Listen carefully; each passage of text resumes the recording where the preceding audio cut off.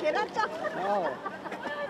呐喊声中，车手全力冲刺。这是二零一五年国际自由车环台赛，有二十六个国家、二十三支队伍，总共有将近一百多位选手参赛。经过了一百三十七公里的路程，终点站来到桃园复兴区脚板山。不过因为遇到下雨风大，有选手在冲刺终点站的时候滑倒。天候不佳，再加上环台赛程有平路、爬坡，也会经过市区、海线山区，各种不同的环境对选手来说是一大挑战。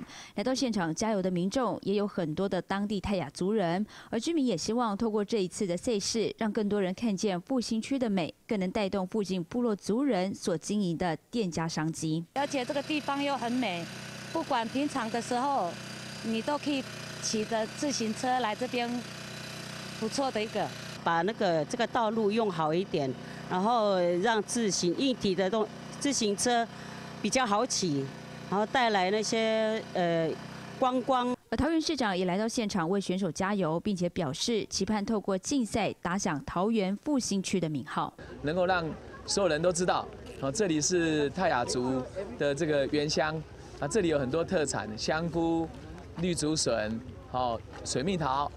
好，非常多的、非常多的好的东西可以来这边观光。台湾这几年来自由车产业兴盛，加上风景美丽，让自由车赛越来越受到瞩目，渐渐成为了国际重点赛事之一。